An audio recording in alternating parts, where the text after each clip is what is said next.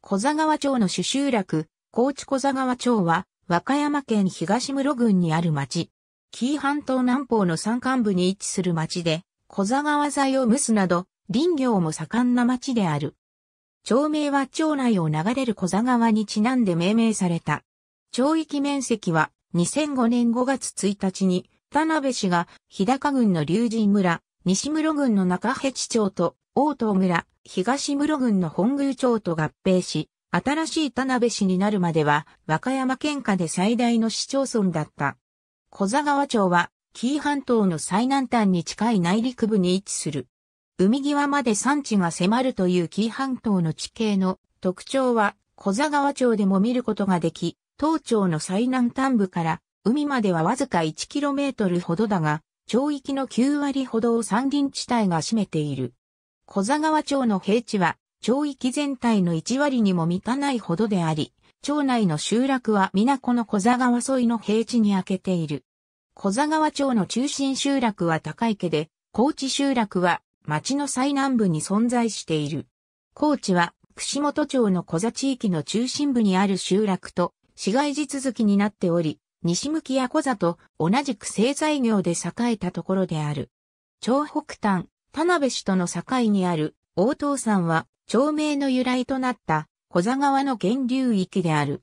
小座川は町内を北西から南東に向けて貫流する。町内の平地は小座川とその支流が形成したものである。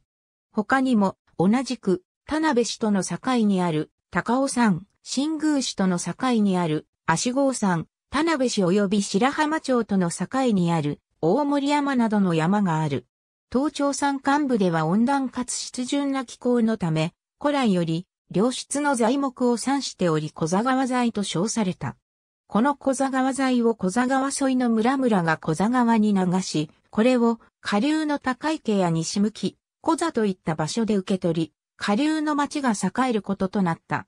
江戸時代末期頃の小座川流域は、材木材よりも備長炭の材料としてのウバメガシを使った上質な炭作りが大変盛んに行われており、江戸や上方の台所燃料として大変好評で、下流の高池にある佐藤家がこれをほぼ独占供給していた。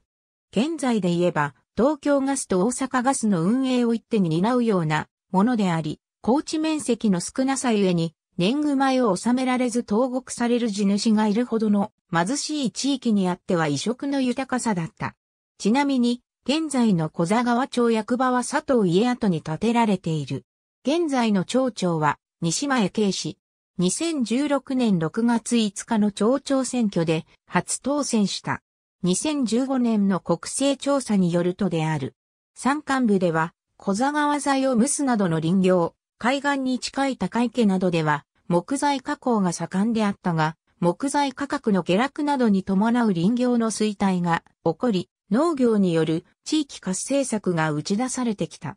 中でも小座川上流部の平井地区を中心とした柚子栽培が挙げられ、柚子酢のほかジュースやジャムなどに加工され、主要特産品となっている。また、上流部では、江戸時代からゴーラを利用した和鉢の蜂蜜採取が行われており、百花蜜などが新たな特産品として注目を浴び、玉川大学と提携したりしている。支流の小川流域では、鮎などの川魚漁が盛ん。また、近年では鹿やイノシシを活用したジビエ事業に力を入れており、先進事例として注目されている。周配郵便局、無周配郵便局間郵便局間郵便局を除く各郵便局にゆうちょ銀行の ATM が設置されており、明神郵便局ではホリデーサービスを実施。小座川町内の郵便番号は以下の通り。町内に鉄道路線はなく、駅もないが、